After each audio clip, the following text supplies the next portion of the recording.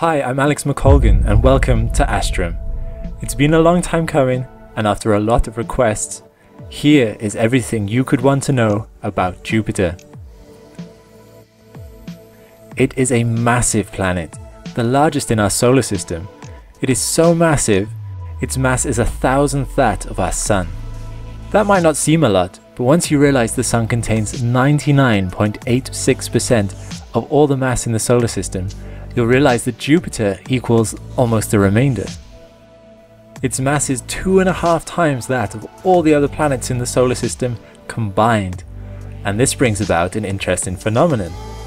The barycenter between Jupiter and the Sun is actually above the surface of the Sun, at 1.068 solar radii from the Sun's center. Well, what's a barycenter, I hear you ask? Well, you see, when we think of an object orbiting another object, we don't necessarily think that the smaller object has a gravitational influence on the bigger object. So the definition of a barycenter is the center of mass between these two objects. With Jupiter being the size it is, it doesn't orbit anywhere close to the center of the Sun. The orbit, in fact, looks more like this, with Jupiter and the Sun rotating around the barycenter. In this case, the barycenter is above the surface of the Sun. Still don't believe me? Well, have a look at this. I want to give you a really crude representation of what a barycenter is. So here we have the Sun and Jupiter, and we find that the center of mass is much closer to the Sun than it is to Jupiter. While Jupiter has the greatest mass of any planet in the solar system, it's not the densest. It is the most massive because it is the biggest. If Neptune was the same size as Jupiter, it would be the most massive. And if Jupiter was the same size as Earth, Earth would be over four times more massive. As it is though, the diameter of Jupiter is 11 times that of Earth, and its total mass is 318 times more than Earth's. As we know, mass affects gravity. This means that Jupiter has a huge gravity, over twice that of Earth at 2.528 Gs at its surface. The gravity of Jupiter affects every planet to one degree or another. It is strong enough to tear asteroids apart and capture 67 moons at least. Some scientists think that Jupiter destroyed many celestial objects in the ancient past as well as preventing other planets from forming. At the moment though, it could be the hero of the inner four planets. Without Jupiter acting as a cosmic vacuum cleaner, it wouldn't be sucking up dangerous objects like long period comets, or perturbing their orbit enough to give them a little kick of energy so that they leave the solar system altogether. And a question I always had as a child, could Jupiter become a star Surely someone just needs to throw a match in, seeing as it's made of flammable hydrogen. Sadly, well, for me anyway, the current thinking is that Jupiter would need to be roughly 75 times more massive than it is now to be massive enough to be a star, although its volume isn't too far off from the smallest known red dwarf. Jupiter is the fifth planet from the Sun, and it's five times further away from the Sun than Earth. Even so, it can be the third brightest object in the night sky, after the Moon and Venus. I just want to show you how bright that is.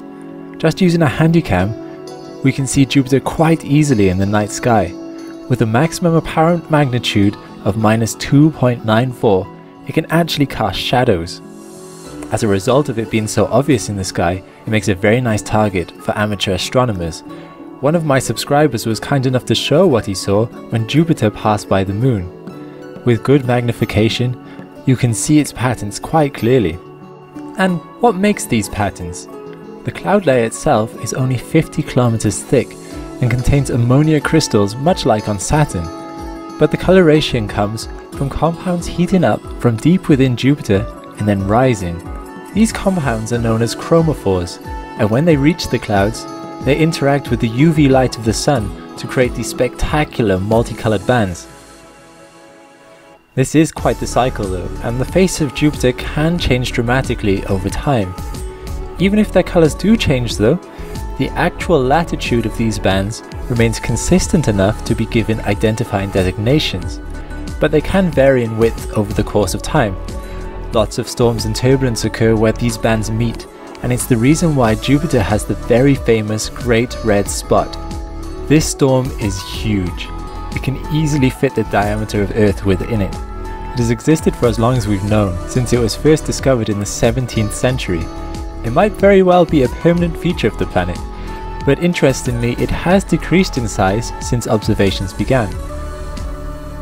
The reason for its reddish colour is unknown, and the colour of the spot can vary greatly, from brick red to almost white. The most recent theory for its colour is chemical compounds being broken up by the UV light of the sun, much in the same way as the process that happens on the rest of the planet. The storm is actually much higher up in the atmosphere than the surrounding clouds, and as a result can interact with the sunlight a lot more. This would explain why its colour can be much stronger than anything else around it. Another storm, known as Red Spot Junior, formed when three storms merged into one, and it has so far passed unscathed by its bigger neighbour, and is now quite a prominent feature of the planet. It could last for another couple of hundred years if it avoids the same fate of a similar storm which passed right through the heart of the Great Red Spot. So what do we think Jupiter is made of? Well much like Saturn, under the atmosphere are gaseous, then liquid, and then metallic forms of hydrogen. The further into the planet you go, the greater the pressure becomes. Under immense pressure, hydrogen acts as a metal, and beneath that is an ice or a rocky core. Because we can't recreate on Earth the immense pressures Jupiter experiences, we don't really know what properties these materials have at the core. Roughly 90% of Jupiter is thought to be hydrogen, 10% helium, and then trace amounts of methane, ammonia, and others. And yes, you may have noticed on this picture, Jupiter does indeed have rings. Nothing on the scale of Saturn, but there are four planetary rings. The main ring is very thin, but very bright, the rest quite wide, but exceptionally faint. The main ring is about 6,500 kilometers wide, and the only distinctive feature you will see is what is known as the Metis notch, Something else to note about Jupiter is its remarkably strong magnetosphere. It is 14 times stronger than Earth's due to the planet's liquid metallic hydrogen center. This makes it the strongest magnetosphere of any planet in the solar system, and is only beaten by the Sun's sunspots. There are a couple of reasons why this is really interesting. The first being that magnetospheres channel solar wind to the planet's poles, which produce magnificent aurora. The second is that the four biggest moons of Jupiter are protected from this solar wind because they orbit within the magnetosphere. This implies they don't need their own strong magnetospheres because Jupiter is doing that for them. And I'll just very quickly talk about the moons because I want to save them for a future video. Jupiter has 67 known natural satellites, 51 are under 10 kilometers in diameter, but the largest, the Galilean moons, are some of the biggest in the solar system. They are Io, Europa, Ganymede, and Callisto, and they are all interesting in their own right. Ganymede is actually the biggest moon in the solar system and has a greater diameter than that of Mercury. We're almost at the end of the video sadly, but we'll just finish by talking about the orbit and rotation of Jupiter. Jupiter, like I mentioned before, is the fifth planet from the Sun and it's found on the outskirts of the asteroid belt, and it sits in between the orbits of Mars and Saturn. It is 778 million kilometers away from the Sun on average, or 5.2 astronomical units. It completes an orbit around the Sun every 12 Earth years. The axial tilt of the planet is small, only 3 degrees. This means it doesn't experience much change in seasons, unlike Earth and Mars. And very much like Saturn, its radius at the equator is greater than at the poles. It rotates very fast, faster than any other planet, completing a rotation in only 10 hours.